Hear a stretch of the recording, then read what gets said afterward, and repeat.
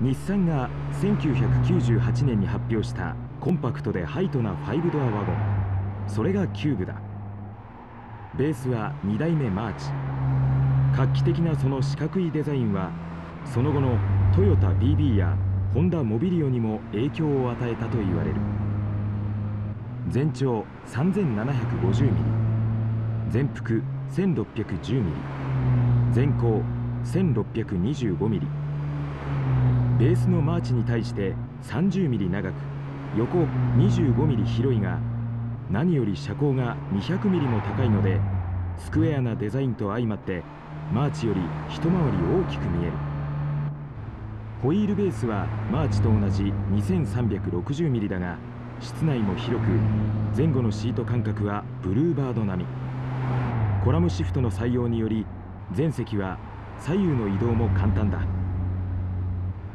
エンジンはマーチ譲りの1.3リットル直 4DOHC 給排気系の見直しとフリクションの低減などによって最高出力は3馬力アップの82馬力。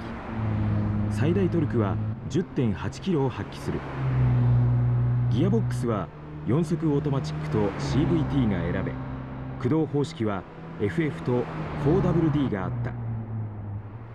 サスペンションもマーチと同じでフロントがストラット。リアが5リンク。ただし重心が高くなった分スプリングを強化した結果コーナリング姿勢は安定したものの乗り心地がやや硬めになった。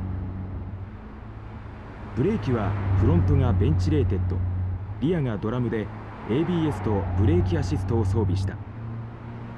室内に豊富な収納スペースを用意したほかリアゲートに便利なガラスハッチ機能を備えるなど細かい工夫を満載した車だった。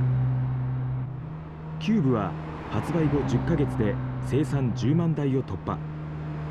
日産としては82年発表の初代マーチ以来の記録を達成した。結局フルモデルチェンジする2002年までに合計40万台以上を売り上げる大ヒット作となったのである。